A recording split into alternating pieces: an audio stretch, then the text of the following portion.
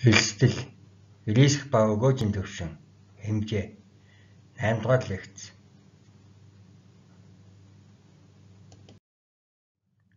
Агуулга. 8.1 тусгаалan авсан элсдэл стенд жалон риск. 8.2 портфель дахь элсдэл 8.3 элсэл ба өгөөжийн түвшний хоорондын хамаарал. 8.4 бета ба капитал хөрөнгийн үнэтэйний загварын талаарх зарим хэрэгцүүлэл 8.5 компани менежер хөрөнгө оруулагчдад зориулсан дүгнэлт зөвлөмж 8.1 тусгаалan авсан элсдэл вебстерийн тойл бичигт риск буюу элсдлийг аюул занал хэрэл гэмтэл гэж тайлбарласан байдаг. Тэгэхээр элсдэл гэдгээр ямар нэгэн тааламжгүй үйл явдал гарах боломжийг хэлдэг байна. Риск гэдэг үг нь грек хэлний грек хэлний ризикон, риза буюу хад чулуу гэдэг үгнээс гарал үүсэлтэй. Итали хэлээр ризико аюул занал хад мөрөхгүй сүлжиж явах гэсэн үгтэй холбоотой. Элдний грек Италийн далайчид далай тэнгисээр аялахдаа усан дотор харагдахгүй бага хад чулууг усан онгоц мөрөх аюулыг риск гэдэг байжээ.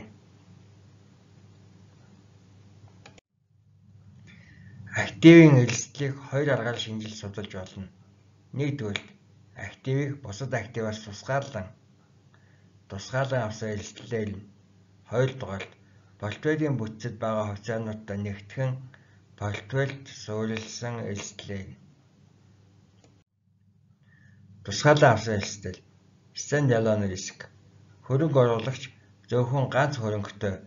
Тэр ганц хөрөнгөтэй нь холбогдсон гарах эрсдэл Магадлалын тархалт Магадлалын тархалт probability distribution гарах үйл явдлыг нь харуулсан жагсаалт. Магадлал гэдэг нь ямар нэгэн үйл явдлын биелэх боломж юм.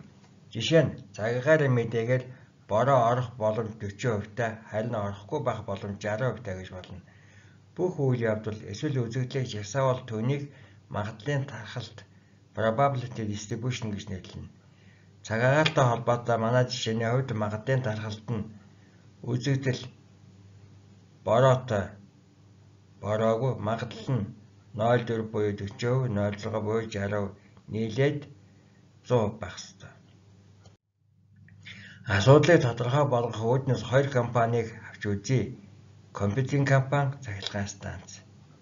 Хүснэгт 8.1 магадлалын тархалт Бүтээгдэхүүний эрэлт сайн, хэвийн, муу. Эрэлтийн магадлал 0.3, 0.4, 0.3 нийлээд 1. Хувьцааны өгөөжийн түвшин компьютерийн үйлдвэрийн хувьд сайн байх үед 100%, хэвийн байхад 15, муу байхад хасах 70. Цахилгаан станцын хувьд сайн байхад 20%, хэвийн байхад 15, муу байхад 10%. Хүлээгдэж байгаа өгөөжийн түвшин. Хүлээгдэж байгаа өгөөж малгайтай R expected rate of return хөрөнгө оруулалтаас авах хүлээгдэж байгаа өгөөжийн түвшин. Гарч болох тохиолдлуудыг магадлалаар нь жигнэсэн үзүүлэлт. Өснөд 8.2 хүлээгдэж байгаа өгөөжийн тооцоо төлбөрийн матриц Бүтээгдэхүүний эрэлт сайн байх үед эрэлтийн магадлал 0.3, өгөөжийн түвшин 100%, үр дүн 2 дугаар багны 3 дугаар багнаар үргэлжлүүлээд 30%, өгөөж цахилгаан станцын хувьд өгөөжийн түвшин 20%, үр дүн 20%-ыг 0.3-аар үргэлжлүүлээд 6%. Хэвийн тохиолдолд компьютерийн компани өгөөжийн түвшин 15 үлдүүн нь 6 цахилгаан станцих өөжийн түвш 15 байхад нь 6. Муу байх тохиолдолд компьютерийн компани өөжийн түвшин хасах 70 байхад үлдүүн хасах 21 цахилгаан станцын өөжийн түвшин 10 байх үед үлдүүн 3. Үлдүүнгийн багныг хооронд нэмэхээр малгайтай хаалт тэнцүү 15% аль аль компани дээр Хүлээж байгаа өгөөжийн төвшин тэнцүү малгайтай R тэнцүү P1-ийг үйлчлэх нь R1 нэмдэг нь P2-ыг үйлчлэх нь R2 нэмдэг нь гэх мэт нэмдэг нь PN-ийг үйлчлэх нь LN. Тэнцүү E1-ээс N үлдлэх нийлбэл P-ийг үйлчлэх нь RE P-ийг үйлчлэх нь RE. За энэ 81-р томьёо. RE E дэх үйл явдал буюу үзэгдэл. PE E дэх үйл явдал буюу үзэгдлийн магадлал. N үзэгдлийн тоо. Малгайтаар байж болох үзэгдлүүдийн жигнэсэн дуудаж.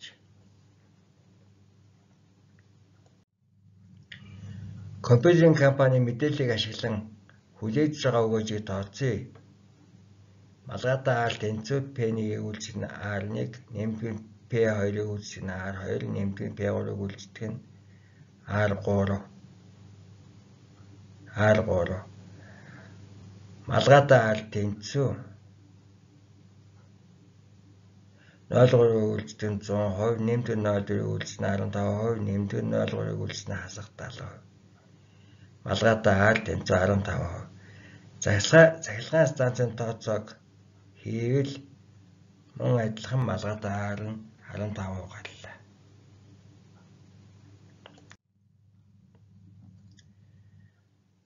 Магадлалын даргалт 681 за компьютерийн компани магадлалыг цэнхээр тэгш өнцгтөр харууллаа.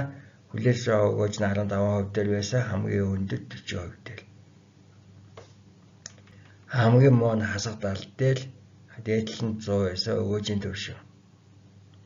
Цахилгаан станцын хувьд хүлээж байгаа өгөөжийн төвшин мөн 15% дээр 40% та харин тархалтын аваад үзэх юм бол доод төвшин доо бага хэмжээ нь 10% дээр дээд хэмжээ нь 20% дээрээс өгөөжин төвшин. За тэгэл тархалтын нягтлалны ойрхон байна. Бүгд нойлоос баруун жишгээ байрлсан байна. Цалиных магадлал бага гэсэн үг. Нэгсэндээ биелэх магадлал өндөр. Магадлалын тархалт нарийсах тусам график нь өндөр болгохын хэрээр бодит үзүүлэлт нь хүлээж байгаа өгөөсөө тун ойролцоогаар нь Харин улам тэлж графикийн үн дээр багасхын хэрээр бодит үзүүлэлт нь хүлээгдэж байгаа өгөөжөөс хол байна. Тэгэхээр магадлалын даргалт найрсахын хэрээр хувьцаа эзэмшигчийн хувь хүлдэг хэлцэл буурна. Манай жишээн дээр цахилгаан станцын магадлалын даргалт бага хүлээгдэж байгаа өгөөж нь 15% ойрхон байна гэсэн үг. Өөрөөр хэлбэл эсэлтийн хувьд компьютерийн компаниас бага байна. Тусгаалan авсан эсэл стандардлын рискийг хэмжих стандарт хэлбэлзэл. Эрсдэл гэдэг ойлголтод нэгдсэн нэгдмэл тодорхойлолт өгөхөд нэлээд төвөгтэй.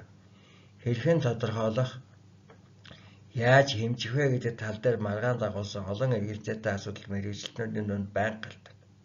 Гэсэн хэдиж олдон зорилгот нийцэх ерөнхийний тодорхойлтыг 682 дээр магадлалын үргэлжилсэн дархалтаар харууллаа continuous probability бүгшин. Босоод тэнхлэгээр магадлалын нягтрал эвдээ тэнхлэгээр өгөөжийн төвшин. За тэгэхээр энэ хоёр цахилгаасан компьютер компани хоёрын графикийн хамгийн өндөр зэг нь хүлээж байгаа өгөөжийн төвшин 15% төр байна.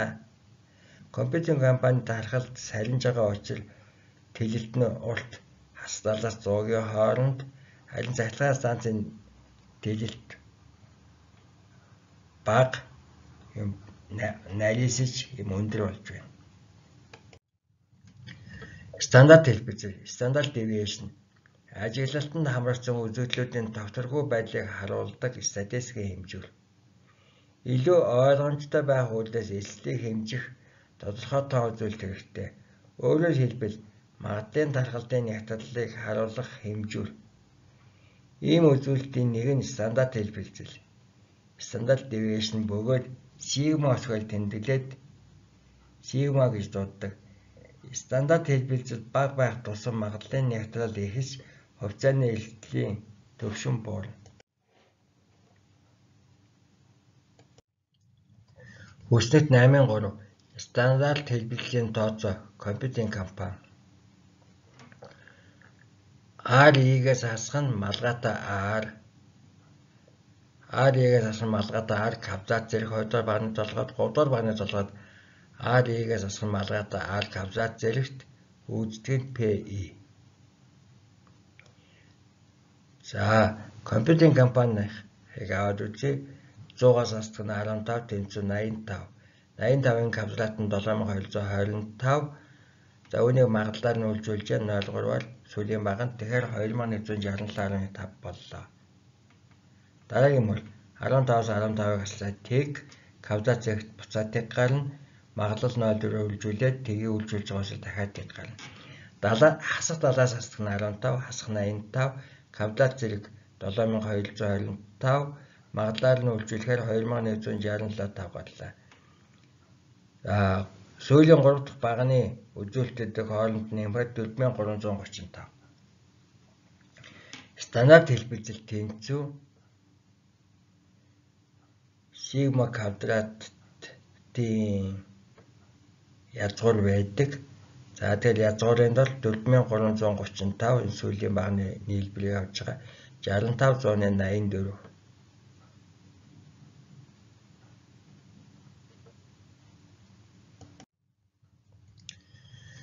Стандарт хэлбэлзлийг тооцдог дарааллыг хүссэн 8-3-т харуулснаар авч үзье. Нийтүүлэлт хүлээж байгаа өгөөжийг тооцно. Хүлээж байгаа өгөөжийн төвшин тэнцүү, малгайтай R тэнцүү, E1-ээс N хөдлөх нийлбэл P-ийг үйлчдэг нь RE. Энэ тооцоог өмнө хийсэн малгайтай R тэнцүү 15%.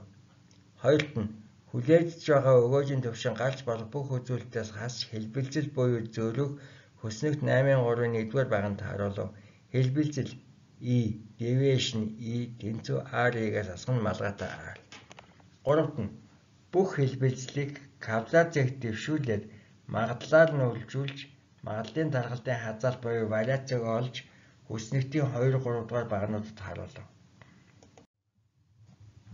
Хазаалт вариац тэнцүү сигма квадрат тэнцүү Т1-ээс энэ хөлтөл нийлбэл хаалтанд R-ээс асар малгайтай R кавзат зэрэг үлсэг нь PE 8-2 дугаар том юм. Хоёрт нь эцэст нь дээл тооцоолсон хазаалтаас кавзат язгуур гаргаж стандарт хэлбэлцлийг олно. Стандарт хэлбэлцэл тэнцүү стандарт deviation тэнцүү сигма язгуурын дор Т1-ээс энэ хөлтлөх нийлбэл R-ээс асах нь малгайтай R Кавзацэгт үйлддэг нь PE 8-ын 3 дугаар юм. Хазаалт вариац, варианс, сигма квадрат, стандарт хэлбэлзлийн квадрат. Стандарт хэлбэлзэл гэдэг нь хүлээж байгаа үнэлгээний зөрүүгөөс тооцсон жигэнсэн доондож үзүүлэлт юм. Стандарт хэлбэлзээр бодит үзүүлэлт нь хүлээж байгаагаас ямар хэмжээгээр зүйтэй байгааг харуулна. Хүснэл 8-3-т үзүүлсээр компьютинг компани стандарт хэлбэлзэл Sigma тэнцүү 6584% гарсан. Цахилгаан станцын хувьд энэ тооцоог хэвлэл стандарт хэлбэлзэл нь 387% гарав. Компьютинг компанийн стандарт хэлбэлзэлийг харж байгаа нь өгөөжийн товсроггүй байдал их хүлээгдэж байгаа өгөөжийн биелэх боломж бага байгааг илтгэв. Өөрөөр хэлбэл компьютинг компани эслийн түвшингээ цахилгаан станцаас их байгааг харуулна. Магадлалын дархалтыг хэвийн буюу нормал гэж үзвэл бодит өгөөжийн стандарт хэлбэлт нэгийн дотор хүлээгдэж байгаа өгөөж болох 68.26%-д ойролцоо байна.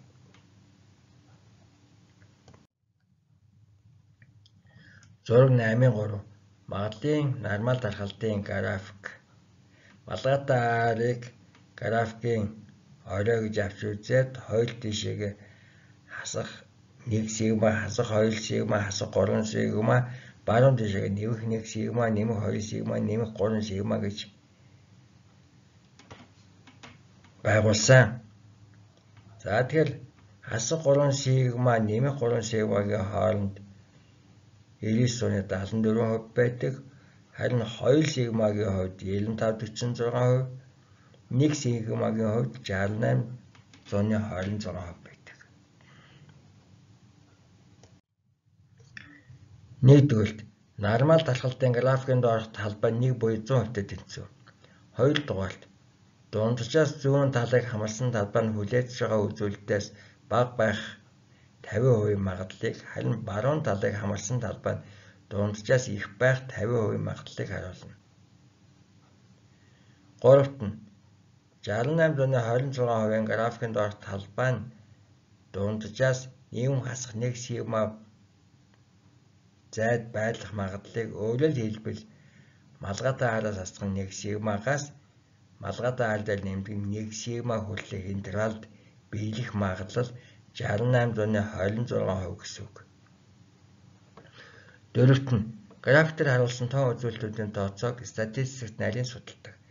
Тавд нь сигма нь их байхын хэлээр бодит үзүүлэлт нь хүлээж байгаагаас хол байдал нь.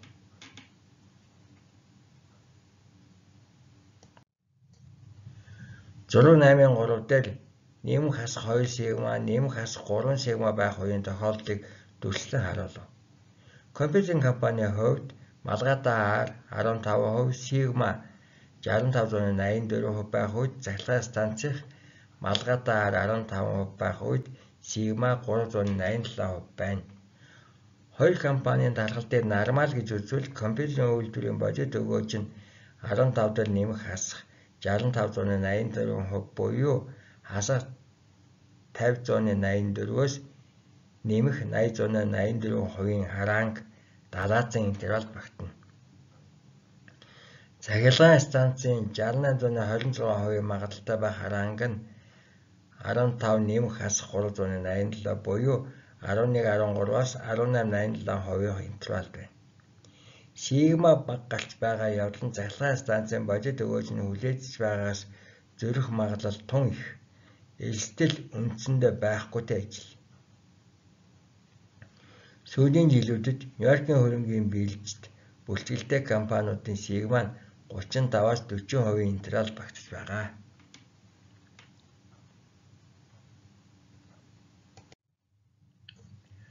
Өнгөрсөн буюу түүхэн мэдээлэл ашиглан эрсдлийг хэмжих нь. Өмнөх жишээнээр бид хүлээж байгаа өгөөж стандарт хэлбэлцлийг магадлалын дарахалд мэдэгдэж байгаа тохиолдолд тооцсон. Хэрэв магадлалын талаар ямар нэгэн мэдээлэл байхгүй гэхдээ болоод өнгөрсөн үйл явдлын бодит мэдээлэл байгаа тохиолдолд стандарт хэлбэлцээ дараах томьёо ашиглан олддог. Сигма тэнцүү, S тэнцүү, язгуурын доор хөлтөлт Т1-ээс N хүртэлх нийлбэр хаалттай нээгээд зураастай ээлтээс хасдаг нь зураастай R average. Хаалттай хад квадрат зэгт хуваадах нь хуваалт нь хасах нь 1. 8-3-ын А томьёо. Дээрээ зураастай ээлт Т үедэх бодит өгөөжийн төвшин Elite rate of return. Дээрээ зураастай R average сүүлийн N жилийн хугацаанд дах жилийн дундаж өгөөж. За энэ нэг зүйлийг анзаарах хэрэгтэй. R-ын дээр зураас энэ бол бодитод биелжсэн өөрөөр хэлбэл түүх мэдээлэл. А түрүүний тохиолдолд бид нар малгайтай R-ыг аваад исэн тэр нь хүлээгдэж байгаа. Өөрөөр хэлбэл бодитод биелээгүй таамаглаж байгаа гэсэн зүйл. Тэгээ энэ хоёрын ялгаа үүндээ байдаг. Жишээ нь 3 жилиг авлаа 2003 4 5. Зураас дээр зураас RT 15%, хасах 5%, 20%. За эхлээд бид нар зураас R-ийн average болон дунджийг 15-аас хасах нь 5%, нэмдэг нь 20%, хуваалт нь 3. Яагтвал 3 жилиг хамлаж байгаа учраас тэнцүү 10% гарлаа. Сигма тэнцүү S тэнцүү язгуурын доор дунджаас үзүүлэлтүүрийг хаснаа гэсэн үг. Гэхдээ эсрэгээр нь үзүүлэлтүүрээс дунджийг хасна. 15%-аас хасах нь 10% квадрат зэрэг нэмдэг нь хасах 5-аас хасах нь 10% квадрат нэмдэг нь 20-аас хасах нь 10% квадрат. Хуваалт нь 3-аас хасах нь 1. Сигма тэнцүү эсвэл S тэнцүү 350%-ийг хуваалт нь 2 1300-ны 2% гарлаа. Тусгаалan авсан эрсдлийг хэмжих нь вариацийн коэффициент. Хоёр төрлийн хөрөнгө оруулалтын нэг нь өгөөжихтэй, хоёр дахь нь стандарт хэлбэлзэл багтаа бол сонголтыг яаж хийх вэ? Энэ асуултад хариу өгөхийн тулд эрсдэл хэмждэг өөр нэг үзүүлэлтийг ашиглана. Вариацийн коэффициент coefficient of variation CV Вариацийн коэффициент нэгж өгөөжид ногдох эрсдэл стандарт хэлбэлзлийг хүлээж байгаа өгөөжид хуваадаг. Вариацийн коэффициент тэнцүү CV тэнцүү сигмаг хуваадаг нь малгайда R 5.84. Компьютерийн компани вариацийн коэффициент тэнцүү 6584-ийг 15 тухайн 439 захиргааны станцын хувьд 387 15 хуваагаад 0.26 гарлаа. Компьютерийн компани эслийн түвшин захиргааны станцаас бараг 17 дахин их байна. 439 хуваадаг 0.26 тэнцүү 16 188 ойролцоогоор 17 гэсэн үг. Эрсдлийн рискийн айвалс ба шаардах өгөөж. Эрсдлийн буюу рискийн айвалс.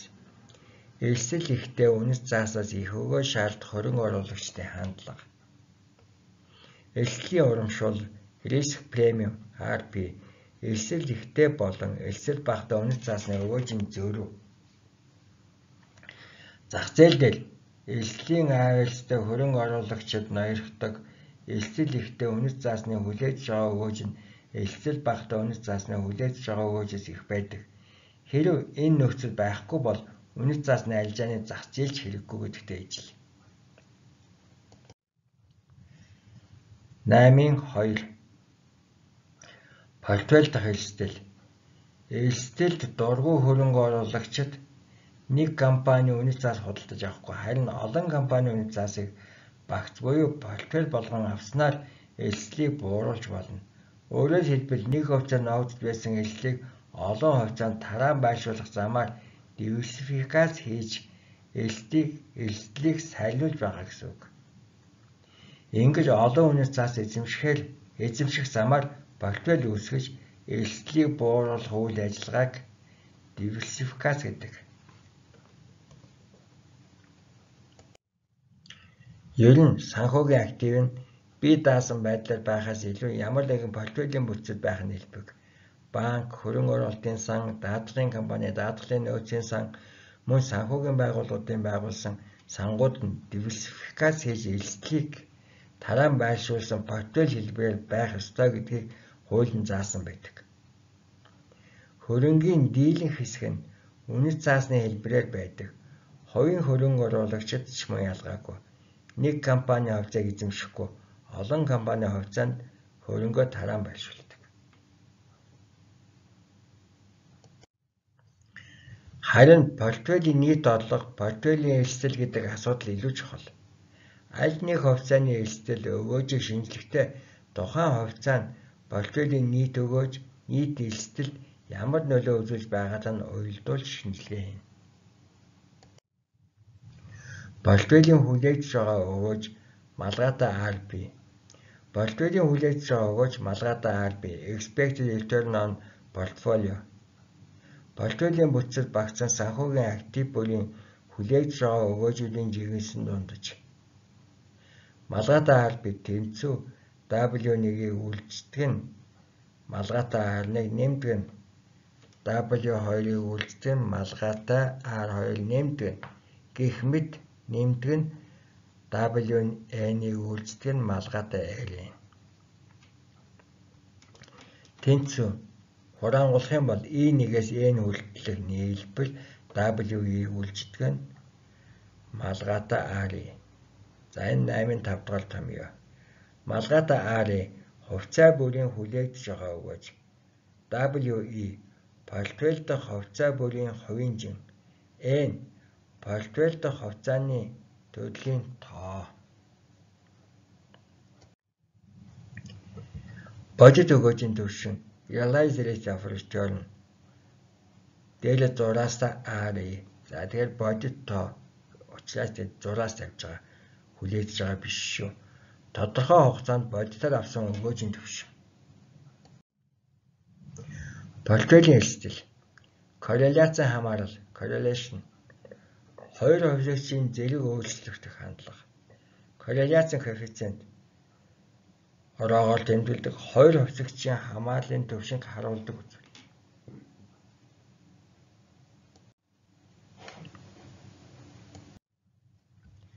Санхүүгийн активуудын хослол ямар нөлөөтэй байдгийг мэдэх үүднээс зураг 8-5-ыг харцгаая.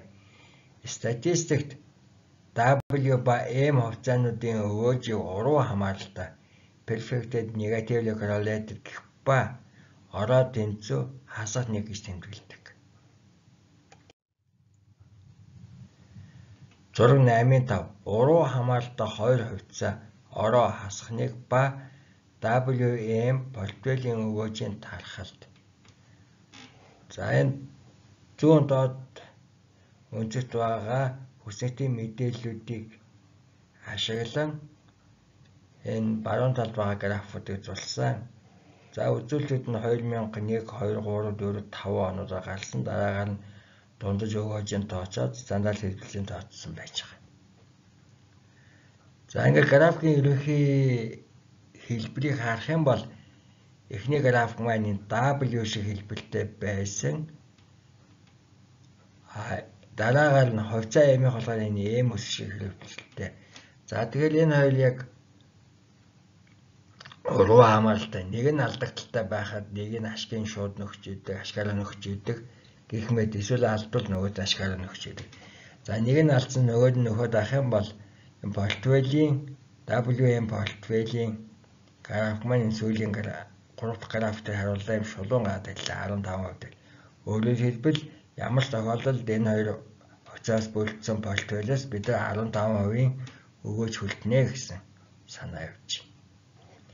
За энэ доор энэ хоёр хувьцааны өгөөжийн магадлалын тархалтыг эхлээд тус тусад нь харуулад хувьцаа W хувьцаа M-ээр дараагаар нь портфель үүсгээд хамтруулал гаргасан.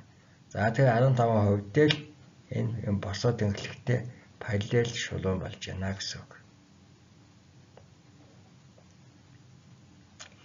Өөрөөр хэлбэл энэ хоёр тус тусдаа илсэлтэй боловч энэ хоёроос нийлүүлэх хослолоор нь портфель үүсгэх юм бол заавал 15-ыг авна гэсэн юм магадaltaй гэсэн санаа. Зургийн доод хэсэг W ба M хувьцаануудын өгөөжийг мөн энэ хоёр хувьцаанаас 50-50% оролцоотой бүрдсэн портфелийн өгөөжийн мэдээллийг он оноор хүсэгтээр харуулв. Хүсэгтийн том мэдээллийг ашиглан байгуулсан 3 графикийг дээд хэсэгт он оноор нь дараагийн хэсэгт өгөөжийн магадлалын дархалтаас хамааруулан байгуулсан графикийг харууллаа. Хоёр хувьцаат тус тусад нь эзэмшиж байгаа тохиолдолд элсэлтэй. Харин энэ хоёр хувьцаагаар WM портфель үүсгэн хослуулан эзэмших юм бол элсэлгүй гарлаа.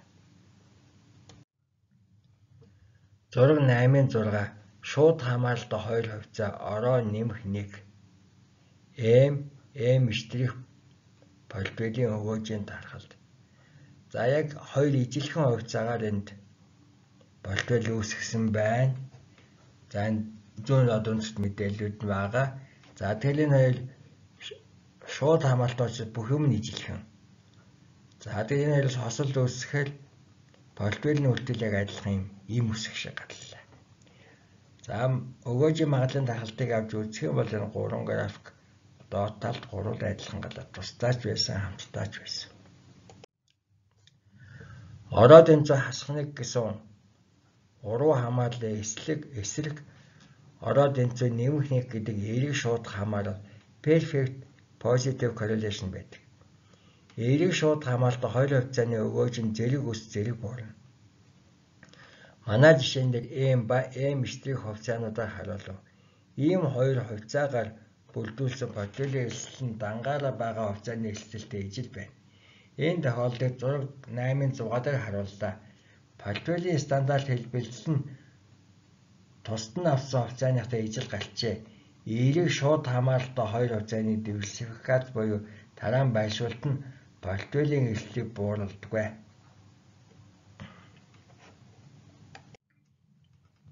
За 3 тохиолдол зураг 8-7 хэсэгчилсэн хамааралтай хоёр хувьцаа ороо тэнцэн нэмэх 0.35 ба WY портфелийн өвөөжинд харгалт. За эхлээд бид энэ W хэлбэлтэй графикта W хувьцааг авсан дараагаар нь V хувьцааг авсан энэний графын V өсөлтөд төссөн учраас V хувьцаа гэж нэрлсэн. За энэ хоёроос нийлүүлээд портфель үүсгээд график нь ямар болохыг сүүлийн графикээр харууллаа. За дараагийн доод хэсэгт өгөөжийн магадлалын тархалтыг харуулсан. За магадлалын нягтлалыг портфель байх үед өндөр байна. Хувьцааны тус тустай байх юм бол доор байгааг харууллаа. Бодит байдал дээр хувьцааны ерөнхийдөө шууд 100% биш боловч нэг чиглэлийн хандлагын хамааралтай. Хэсэгчилсэн хамааралтай хувьцаануудын корреляцийн коэффициент ойролцоогоор 0.3. Энэ нөхцлөөр хувьцаануудын хослолоор холцоор бүрдүүлсэн портфелийн эслийг бууруулж болно. Гэхдээ бүр алга болохгүй. Зураг 8-ын 7 дээр харуулсаар хоёр хувьцааны корреляцийн хамаарлыг хамаарлын коэффициент ороод тэнцүү нэмэх 0.35 болжээ.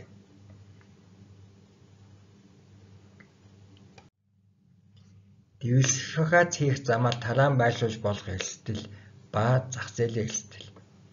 Зах зээлийн портфель, маркет портфолио арилжаанд олж байгаа бүх хувьцаанаас бүрдэх портфель. Портфелийн хэмжээ нь түүний эрсдэлд ямар нөлөө үзүүлдэг мэдхийн тулд зураг 8.8 дээр анхаарлаа хандуулъя. Зураг дээр харуулсан хувьцааны тоог нэмэхэд портфелийн эрсдэл буурч байна. Зураг 8.8 дундаж хувьцааны портфелийн эрсдэл портфелийн хэмжээний үзүүлэх нөлөө. За графикийн хэвтээ тэнхлэх нь портфелийн бүтэлдэх хувьцааны тоо, босоод нь портфелийн эрсдэл.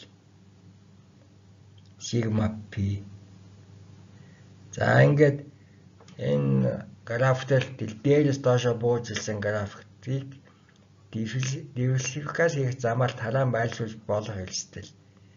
За тараан байлшуулахаар эрсдэл нь буураад байна. Портфель эрсдэл. За портфель эрсдэл буурсаар буурсаар цааш нь бууж болохгүй төр төвшөнд дэлдэг. Түүнийг сигма m 20.4% гэж тэмдэглэжээ. За тэгэхээр эндээс энэ тасархай шугамар график хэвтээ тэнхлэгтэй параллел татсан дундаж хувьцааны портфелийн эрсдлийн байж болох минимум За түүнээс доош хэсэгт нь портфелийн зах зээлийн эрсдэл тогтмол.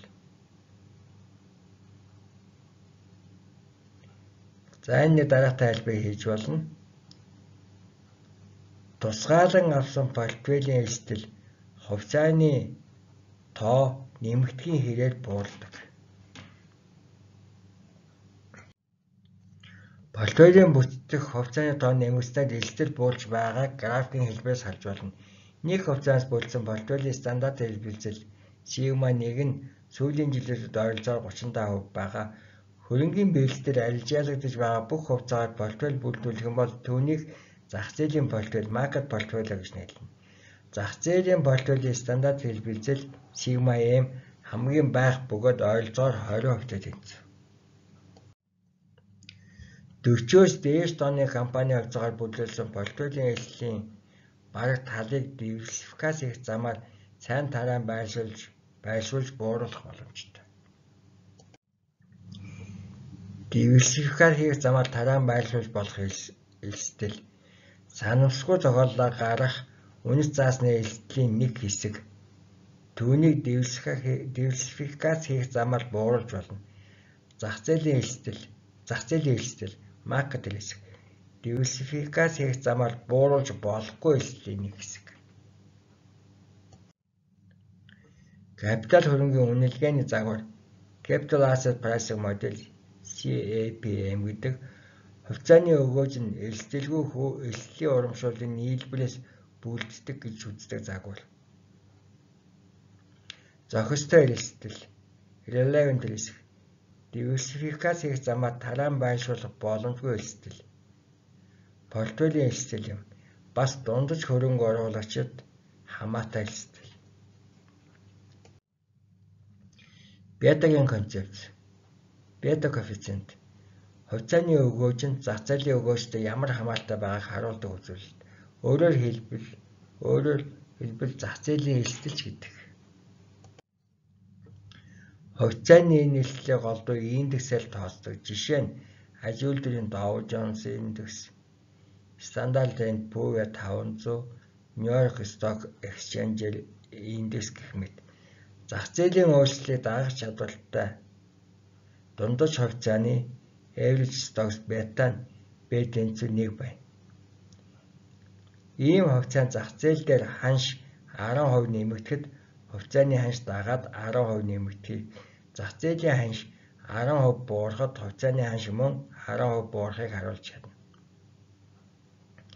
Б тэнцүү нэгтэй хувьцаануудаас бүрдсэн портфелийн өөрчлөлт нь нийт хөрөнгийн зах зээлийн өөрчлөлттэй адилхан өсч буурна.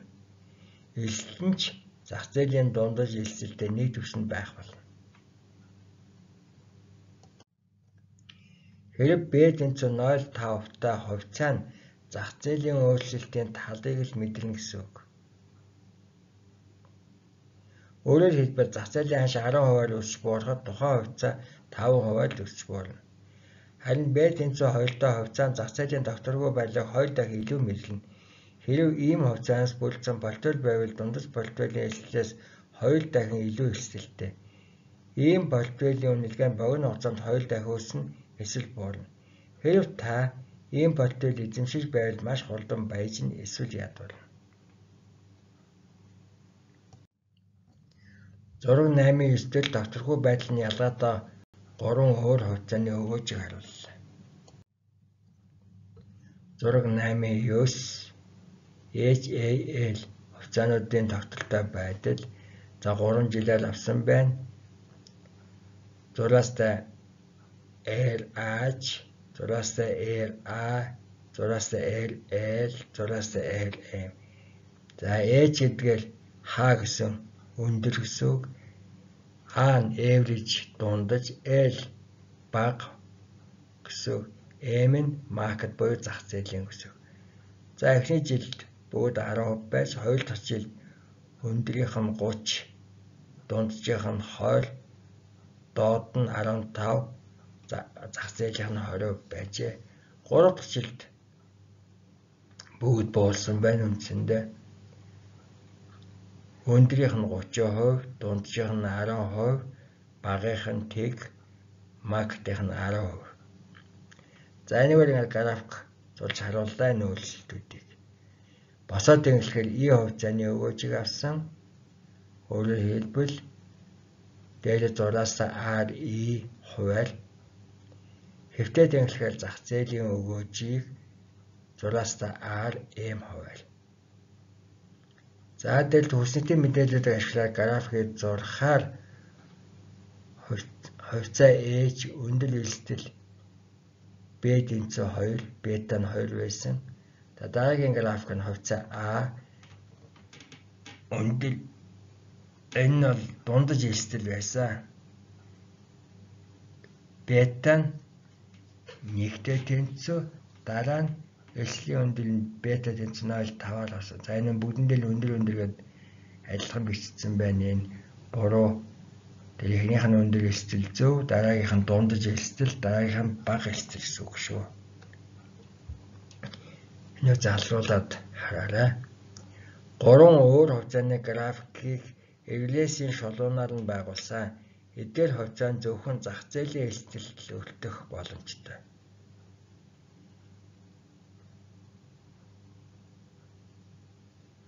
Хоёр нэг нойл тав бетатай хувьцаанаас бүрдсэн хөрөнгө оруулалтын хамтын сан mutual fund-ын график нь эдгээр графиктай ижил хэлбэртэй байна. Графикын доор байгаа хүснэтээр хувьцааны өгөөжөд гарсан өөрчлөлтийг жил жилээр үзүүлсэн. Эхний жилд зах зээлийн өгөөж 3 өөр хувьцаагаар бүрдүүлсэн портфелийн өгөөж нийт өгөөж нь ижил 10% байсан. RM 10%, А ч их өгөөжтэй А дундаж өгөөжтэй L бага өгөөжтэй хувьцаануудын нийт өгөөж мөн 10% хоёр дахь жилд зах зээлийн ханш өсч RM 20% боллоо. 3 хувьцааны өгөөж мөн нэмэгдэнэ. H хувьцаа хамгийн их өсч 30%, A хувьцаа зах зээлийн өгөөжтэй ижил 20%, харин L хувьцаа хамгийн бага 15% болно. 3 дахь жил зах зээлийн өгөөж буулж LM хасгаараа болсон 3 хувьцааны өгөөж мөн буулсан. H хувьцаа хамгийн их буулж хасах 30, А хувьцааны өгөөж хасах 10, харин L хувьцаа LM тэнцүү 0% хамгийн бага 15% болно.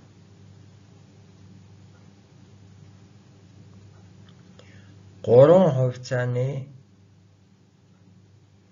өгөөж зах зээлийн хандлагатай ижил чиглэлээр өөрчлөгдсөн. Хамгийн их савлгаатай өөрчлөлттэй H хувьцаа А хувьцаа зах зээлийн өөрчлөлттэй ижил харин L хамгийн бага хэлбэцэлтэй.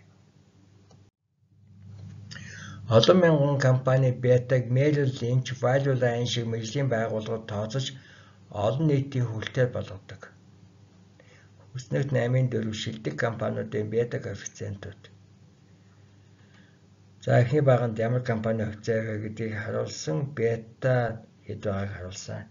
За хамгийн дээр Merrill Lynch 1.5, eBay 1.45, General Electric 1.30.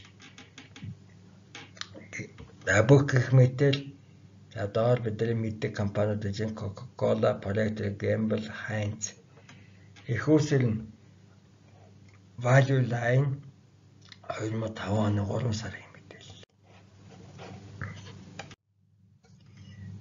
Бетан баг хууль хувьцаанаас бүрдсэн портфелийн бетанч бага байна. Яагаад гэвэл портфелийн бетанд тусгаалan авсан хувьцаануудын бетагийн жигнэсэн дундас байдаг. Томьёо ББ тэнцүү W1-ийг үйлдэх нь B1, нэмдэг нь W2-ыг үйлдэх нь B2, нэмдэг нь гэх мэт WN-ийг үйлдэх нь BN, ББ тэнцүү E1-ээс E-н үйлдэл нь хэлбэл W-ийг үйлдэх нь BE 8-ын 100 дугаар томьёо. БП портфелийн бета. Зах зээл дээрх портфелийн давтаргуу байдлыг харуулдаг. WE портфелийн идэх хувьцаанд хийсэн хөрөн оруулалтын хувь. BE портфелийн идэх хувьцааны бета коэффициент.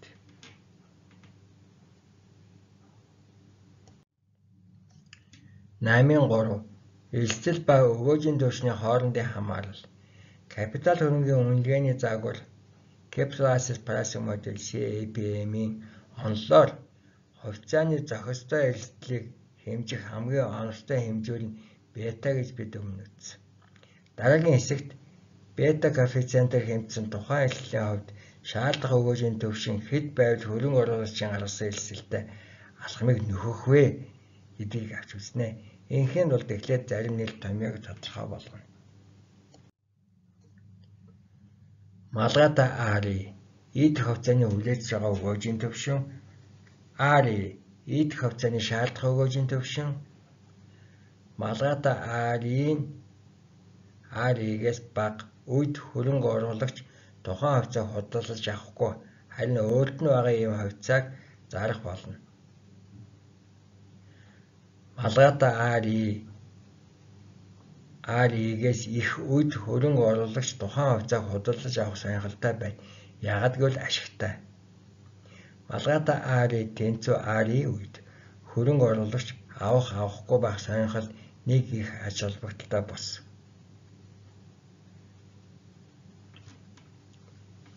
За дээр зураас даар бодит өгөөжийн төвшин өөрөөр хэлбэл өгөөжөө хөлдсөн ашиг авсан гэсэн үг. Энэ мэдээллийг шинэ хөрөнгө оруулагч мэдээгүй байж болно. Яагад гэвэл өмнө энэ хувьцааг эзэмшиж байгаагүй. RLF элцэлгүй хүний төвшин их их тохиолдолд урт хугацааны сангийн үнэт заас засгийн газрын үнэт цаасны хүүг RLF гэж тэмдэглэдэг. Жишээ нь US Treasury Bond, BE ийдэх хувьцааны бета коэффициент. Дундаж хувьцааны бета. BE тэнцүү 1 байдаг. BE И дэх хувьцааны бета коэффициент. Дундаж хувьцааны бетанд BI тэнцүү 1 байдаг. RM бүх хувьцааны төлөөр бүрдүүлсэн портфелийн шаардлагатай өгөөжийн түвшин өөрөөр хэлбэл зах зээлийн портфелийн гэсэн үг. Мөн дундаж хувьцаа BA тэнцүү 1 хувьцааны шаардлагатай өгөөжийн түвшин гэж бас хэлдэг. RPM тэнцүү LM-ээс асах нь LF зах зээлийн эрсдлийн урамшуулал дундаж хувьцааны эрсдлийн урамшуулагч гэж болно. Дундаж хөрөнгө оруулагч гаргасан эрсдэлтэй алхамдаа авч байгаа нэмэлт нөхөө урамшуулал юм. Өөрөөр хэлбэл эрсдэлгүй хүний төвшин дээр нэмж авах дундаж эрсдлийн хүү юм. Дундаж эрсдэл гэдэг нь BI тэнцүү BA тэнцүү 1 үзүүлэлттэй хувьцааны эрсдэл. RPE тэнцүү LM-ээс хасдаг нь LF үйлчлэг нь BE. Тэнцүү LBM-ийг үйлчлэг нь BE. Энэ нь E дэх хувьцааны эрсдлийн урамшуулал. Хувьцааны эрсдлийн урамшуул нь дундаж хувьцааны урамшууллаас их бага эсвэл тэнцүү байж болно. Энэ нь бета 1-ээс бага их тэнцүү байгаасаас хамаарна. Хэрв BE тэнцүү BA тэнцүү 1 бол LBE тэнцүү LBM байна.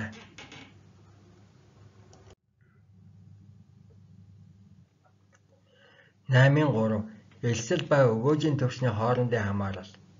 Зах зээлийн элслийн элслийн урамшуул LBM market risk premium элсэлгүй хүүдэл нэмж болгодог өгөөжийн төвшин хөрөнгө оруулагчид өгч байгаа зах зээлийн элслийн нөхөр үнэт заасны зах зээлийн шулууны томьёо security market line equation үнэт заасны шаардлагыг өгөөж бетагаар хэмжсэн элслийн хамаарлыг харуулдаг тэгштгэл. Ийдэх хувьцааны элслийн урамшуулалт тэнцүү. RPE тэнцүү. RPM-ийг үйлчлэх нь BE 8.6 томьёо. Ийдэх хувьцааны шаардлагыг өгөөж тэнцүү. Эрсдэлгүй хүний төвшин дээр нэмдэг нь хувьцааны эрсдлийн урамшуулал. Томьёо 8.7 RE тэнцүү RLF дээр нэмдэг нь хаалтанд RM-аас асах нь RLF халдаа хагаад BE-гээр үйлчиллээ. RE тэнцүү RLF нэмдэг нь хаалтанд LBM үйлчлэг нь BE.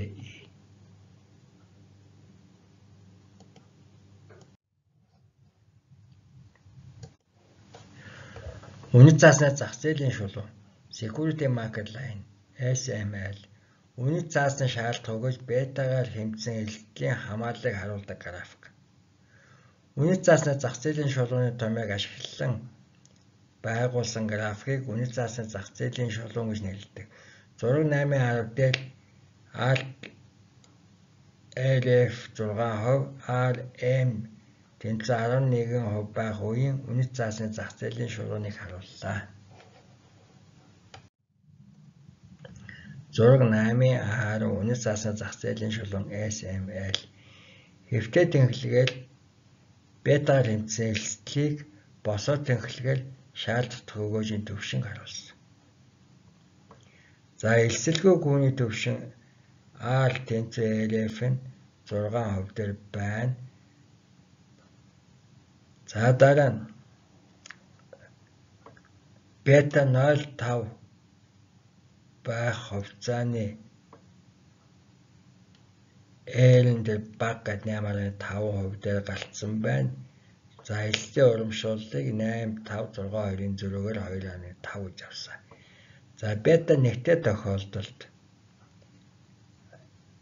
LM RA тэнцээ 11% болж байна.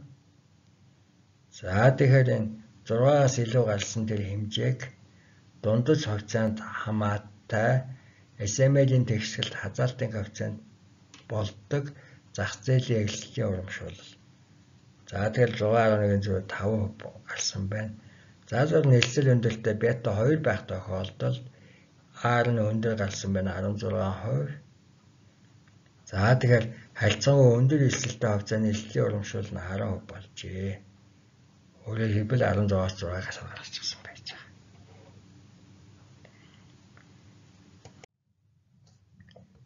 Нэгдүгээр шаардах өгөөжийн төвшинг босоод тэнглэхээр бетагаар хэмжээ эслийг хэвтээд тэнглэхээр харуулсан. Энэ график нь өмнө үзсэн зураг 8.9-ээр харуулсан графикаас өөр энийг хутгаж болохгүй шүү. Тэнд бид тусгаалan авсан хувьцааны өгөөжийг босоод тэнглэхээр зах зээлийн өгөөжийн индексийг хэвтээд тэнглэхээр харуулсан. Тэнд мөн 3 шулууны хазаалтын налуу өнцгөр хувьцааны бетаг тооцож зураг 8.10 дээр хэвтээд тэнглэх болгож ашигласан. Хоёрт нь элдэлгүй үнэт цаасны бета тэгтэй тэнцүү. Өөрөөр хэлбэл BE тэг энэ үед RLF босоод тэнглэх дээр гарна 6.810. Бета нь тэг байх болтвол үүсгэн гэвэл хүлээж байгаа өгөөж нь элцэлгүй хүний төвшөнтэй ижил байна. 3. Үнэт заасны зах зээлийн шулууны хазаалт нь нийт эдийн засаг хэлслийн хавилын төвшинг харуулдаг. Зураг 8.10 дээр 5%. Дундаж хөрөнгө оруулагчийн элслийн хавилс их болохын хэрэгэл аад нь шулууны хазаалтын өнцөг ихэж босоод тэнглэл рүү тэмүүлнэ. Бэд нь бүх хувьцааны элслийн урамшуулал нэмэгдэнэ. Фед нь бүх хувьцааны шаардах өгөөж өснө. Энэ талаар дараагийн хэсэгт дэлгэрэнгүй авч үзнэ. Дөрөвт нь хувьцааны үнэлгээ BI 0.5, BI 1, BI 2 байх үеэр гаргаж зогт үзүүлснээр R өндөр, R A, R бага гэж тэмдэглэсэн.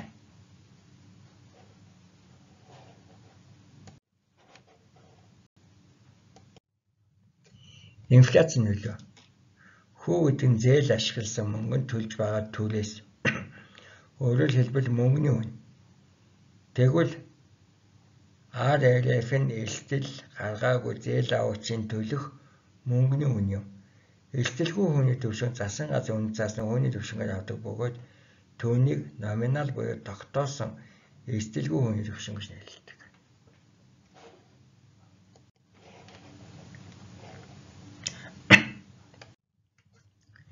Энэ нь хоёр элементээс бүрддэг. Нэгдүгээр инфляцийн нөлөөг оруулаагүй бодит өгөөжийн төвшин оддоо R хоёрт нь инфляци урамшуулал IP энэ нь хүлээж байгаа төвшөнтэй ажил. Тэгвэл RLF за LF гэдэг нь риск фри гэдэг бид юм алтаараа тэнцүү оддоо R-д нэмэх нь IP гэж бичиж болно. Засгийн газрын урт хугацаатай бондын бодит хүний төвшин 2-4% хооронд ойролцоогоор 3% дээр байдаг. Ямар нэгэн инфляц байхгүй гэж үзвэл урт хугацаатай засгийн газрын бондын бодит хөөнд 8% гэсэн үг ээ. Хүлээгдэж байгаа инфляц нэмэгдэнэ гэж үзвэл бодит өгөөжийн төвшөндөл инфляци урамшууллыг нэмнэ. Ингэснээр хөрөнгө оруулагчийн инфляцийн өсөлтөөс хүлээх алдагдлыг нөхөн олж байгаа хэрэг. Зураг 8.10 дээр харуулсан RLF тэнцээ 6% нь 3% бодит өгөөжийн төвшин 3% хүлээж байгаа инфляцийн урамшууллын нийлбэр юм. Нь тэнцээ оддоо ардаа нэмэх нь IP тэнцээ 3% дээр нэмэх нь 3%, тэнцээ 6%. Зураг 8.10 Үнэт заасны зах зээлийн шулуун SML. За тэр RLF-ээр хамгийн доотлон зэгдэж 6% байж гэн. Энэ мэн төрөний хэлснээр одтой дээр нэмэх нь IP-г суулгатай өгш шүү. За тэгэхээр энэ LF чинь risk free элцэлгүй хүний төвшин гэсэн үг. Энэ графтаар дахиад харууллаа. Хэрэг хүлээж байгаа өгөөж 2 хувиар өснө гэж үзвэл IP тэнцүү 3% дээр нэмдэг нь 2%, тэнцүү 5% болно. RLF тэнцүү оддоо ардаа нэмдэг нь IP тэнцүү 3% дээр нэмдэг нь 5%, тэнцүү 8%. Энэ тохиолдлыг зураг 8.11 дээр харуулсан. Капитал хөрөнгийн үнэлгээний загвараар RLF-ийн өсөлт нь бүх эрсдэлтэй хувьцааны өгөөжийн төвшин ижил хэмжээр өсгдөг. Мөн яг ийм хэмжээний инфляци урамшууллыг эрсдэлтэйч бай, эрсдэлгүйч бай активын шаардах өвөжийн төвшин нэмж оруулдаг. Ингэснээр графикээр харуулсан дундаж хувьцааны RM 11-ээс 13% болж өссөн. Элсдэлтэй бусад үнэт заасны өгөөч мөн 2% өснө.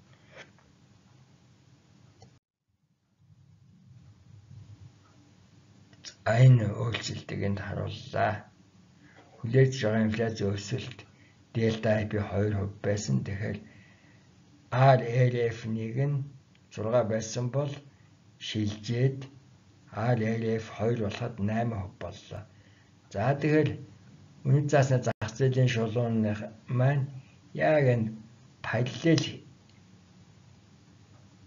чиглэлээр дээшээгээ нэмэгдлээ гэсэн үг.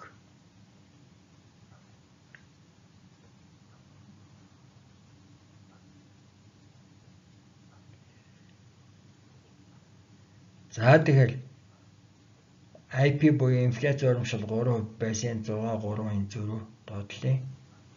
Дараа нь 2% өссөн байгаа энэ дараа. Тэгээд энэ 2% өсөөр 3 дээр 2-ын бол 5 болж байна. Нийт өсөлт нь. Эрсдлийн рискийн аваалт гарах өөрчлөлт. Үнэт заасны зах зээлийн шуурганы хэвтэй тэмцэлтэй үүсгэж байгаа өнцөг хазаалт нь хөрөнгө оруулагч эрсдлийн авиалс буюу эрсдэлтэй үйлдэлд хэр хашир болгоомжтой байна вэ гэдэг хандлагыг харуулдаг. Хэвтэй тэмцэлтэй үүссэн өнцөг нэмэгдэж шулуун босоод тэнхлүүд тэмүүлгийн хэрэгээр хөрөнгө оруулагчийн зүгээс гаргасан эрсдэлтэй үйлдэлтэй нэхэх нөхөн олгорын хэмжээ өснө. Өөрөөр хэлбэл эрсдлийн авиалс нэмэгдэнэ.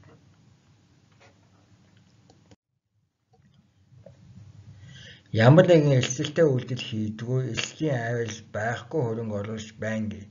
Хэрэв RLF-ийн 6% бол эрсдэлтэй активын шалт тогож мөн л 6% байна. Эрсдлийн айвалгүй учраас түүний урамшуулалч байхгүй. Энэ тохиолдолд SML шулуун нь хэвтээ тэнхлэгтэй параллел байна. Хөрөнгө оруулагчид эрсдлийн айвалстай болох үед эрсдлийн урамшуулал аавна. Айвалс нэмэгдэхийн хэрэг шулуун босоод тэнхрүү тэмүүлнэ.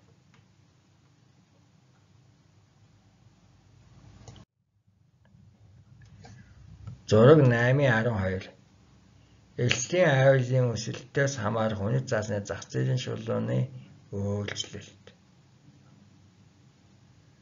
За босоод тэнхлэг маань шаардах өгөөжийн төвшин хэвтэй тэнхлэг маань бетаар хэмжсэн эрсдэл. За тэл хамгийн амтны анхны график маань А тэнцээ LF 6%-аас явсан яг доотлын график байж байгаа. Дараа нь зах зээлийн шөнө график маань гинт шалт хөвөжийн төвшин болох босоод тэнхлэг рүү ингээд бос эхэлсэн.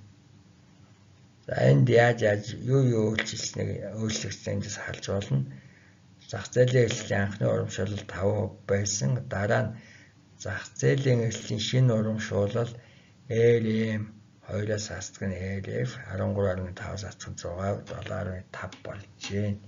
За тэгэл энэ нэгээд босоод хэлбэрлэл шилжиж байна гэсэн үг. Зураг 8.12 дээр эрсдлийн авиалын өсөлтийг харуулсан. Зах зээлийн эрсдлийн урамшуулал 5-аас 7.5% болж өсөх үед RM нь RM1 11%-аас RM2 13.5% болж өслөө. Эрсдэлтэй бусад актив өгөөж мөн дагаж өснө. Ингэснээр эрсдлийн хайрлт гарсан өөрчлөлт нь эрсдэлтэй бусад үнэт заасанд бас давхар нөлөөлнө.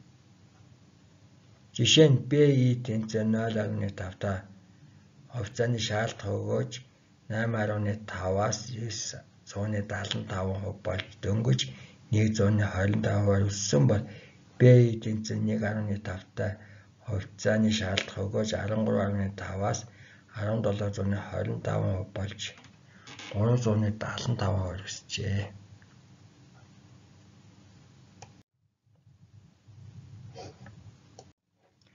Хугацааны бета коэффициентэд гарах өөрчлөлт. Компаниуд нь зах зээлийн хэлцэл ба өөрийн бета коэффициентад дараах хоёр замаар нөлөөлдөг.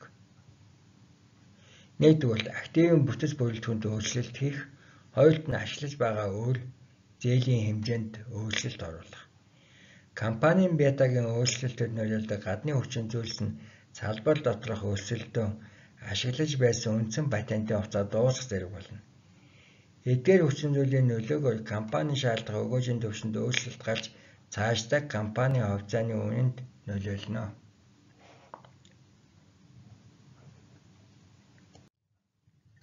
Жишээ нь хүнс авсаар компани бета 148 байлаа. Гэтэл зарим нэг хүчин зүйлээс шалтгаалan бета 148-аас 2 болж өссөн гэж үзье. Хэрэг нөхцөл байдал нь зураг 8-10 харуулсандаа ижил гэж үзвэл хүн социалист компани шаардлагын өгөөжийн төвшин 13.4-өөс 16% болж өснө. R1 тэнцүү RF-тэй нэмдэг нь хаалтанд RM-аас асгана RF халдаагаад бета. R1 тэнцүү 6% дээр нэмдэг нь 11-аас асган 6%, үлсэг нь 148. 13.4%-аас R2 Тэнцүү 6% дээр нэмдэг нь 11-аас асах нь 6%, үйлчлэл нь 2 тэнцүү 16% хүртэл. Ийм өөрчлөлт нь заримдаа хувьцааны үнэд цөрөг нөлөө үзүүлдэг. 8-4 Бета ба капитал хөрөнгийн үнэлгээний загварын талаар зарим эргэцүүлэл. Капитал хөрөнгийн үнэлгээний загвар Энэ сурах бичиг тайлбарлан бичсэн шиг энгийн онол биш бодит байдлаар хамрах хүрээ нэлээд өргөн цар хүрээтэй бөгөөд шинжээчид хөрөнгө оруулагчид компаниуд судалгаандаа их ашигладаг арга юм. Гэхдээ сүүлийн үед энэ онол бодит байдалд хэд зэрэг нийс байгаад нэлээд болгоомжтой хандах болсон. Жишээ нь Чикаго хотын сургуулийн доктор Южин Фама, Дартмутын сургуулийн Кеннет Френч нар хувьцааны өгөөж зах зээлийн бятагийн хооронд ямар нэгэн түүхэн холбоо уялдаа байгаа байгаа гэдэгт эргэлзэж байгаа тухайгаар тэмдэглэжээ. Энэ байр суурьтай нь зарим профессорууд хөрөнгийн зах зээлийн шинжээчид санал нийлсэн байна.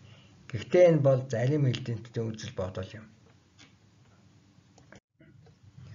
Уламжлалт капитал хөрөнгийн үнэлгээний загвартай зэгцэн сонголт хийх боломжтой байтагаас гадна өөр олон хувьсагчтай бусад хувилбаруудыг ч боловсруулжээ. Тараан байршуулах боломжгүй зах зээлийн эрсдэл нь активын үнэлгээ хийхэд гол үүрэг гүйцэтгэдэг гэсэн санааг олон хүчин зүйлийн шин загвар харуулдаг. Ингэснээр хуучин уламжлалт загварыг улам хөгжүүлжээ. Олон хүчин зүйлийн загварт эрсдэлд нөлөөлдөг олон хүчин зүйлс байгаа гэж таамагласан бол капитал хөрөнгийн үнэлгээний загвараар зөвхөн зах зээлийн портфелийн өгөөстэй холбож үздэг. Олон хүчин зүйлийн эдгээр загвар нь санхүүгийн менежментийн онолын хөгжил чухал алхам болсон.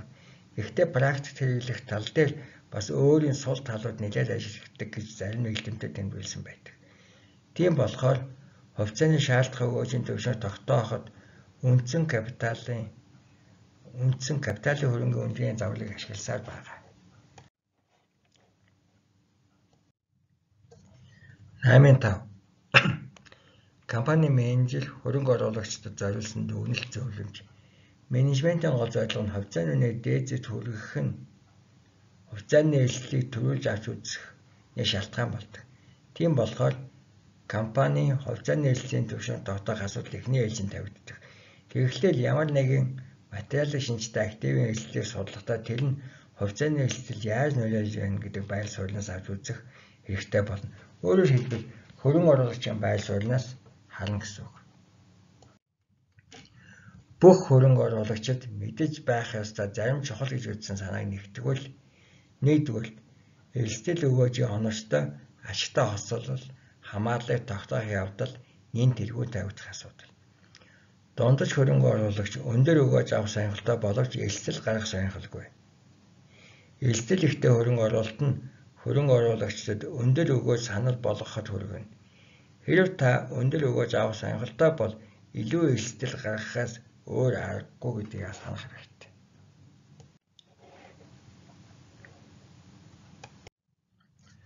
Хоёрдугаар диверсификац хийх замаар тараан байшуулт хийх нь тун чухал. Диверсификац хийснээр хөрөн оруулагч хүлээгдэж байгаа өгөөжөө бууруулах гол эслэлийг багасгаж болно. Та мөнгө мөнгөө нэг эсвэл хоёрхан төрлийн хувьцаанд оруулах хэрэггүй. Бас зөвхөн нэг эсвэл хоёрхан салбарын компани хувьцааг худалдаж авах хэрэггүй. Огт элцэлгүй хувьцаа гэж байдгүй учир хөрөнгөө сайн диверсификац хийж тараан байршуулсан портфельд оруулснаар тогтмол орлоготой байх боломж бүрдэнэ. 3. Бодит өгөөж гэдэг нь чухал асуудал байдаг. Хөрөнгө оруулагчид номинал буюу нэрлсэн өгөөж, бодит өгөөжийн ялгааг зөв ойлгох хэрэгтэй. Гүйцэтгэлийн үнэлгээ хийх үед бодит өгөөжийн асуудал илүү чухал болно. Энэ нь инфляцийн түвшин хасны дараа үлдэх өгөөж юм. Хэрв хүлээгдэж байгаа инфляц өсөх хандлагатай бол хөрөнгө оруулагчийн номинал өгөөжийг нэмэгдүүлэх хэрэгтэй. Дөрөвт нь хөрөнгө оруулалтыг та хэр удаан хийх вэ гэдгээс хөрөнгө оруулалтын эсрэг бас хамаардаг. Богино хугацааны хөрөнгө оруулагчийн хувьд энгийн хувьцаа эрсдэлтэй харин урт хугацаатай бол эрсдэл багатай. Төл зуурын хэлбэлзлүүд урт хугацаанд ашигтай үеүүдэд уусаад өгөөжтэй байна. Бас диверсификац хийж тараан байршуулсан урт хугацаатай портфелийн бүцэд оруулбал эрсдэл бүр багасна. Пенсильванигийн сургуулийн Jeremy Siegel-ийн бестселлер болсон Stock for the Long Run номонд хамгийн найдвартай урт хугацаатай хөрөнгө оруулалт нь бонд биш харин хувьцаа байдаг гэж онцолжээ.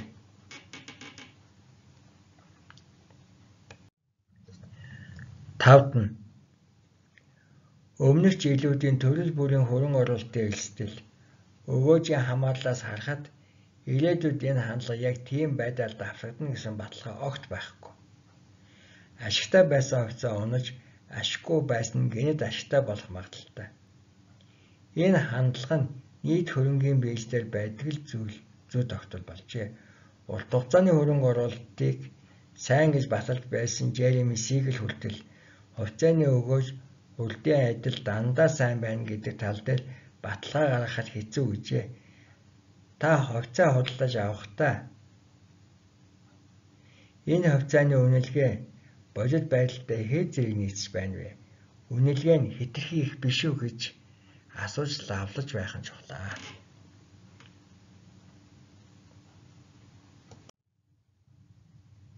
Анхаарал тавьсанд баярлалаа.